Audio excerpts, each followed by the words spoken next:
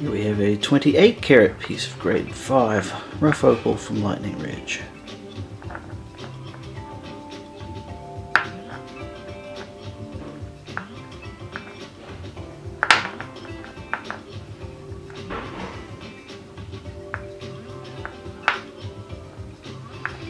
Just a little bit of color in this one, very much a gamble here.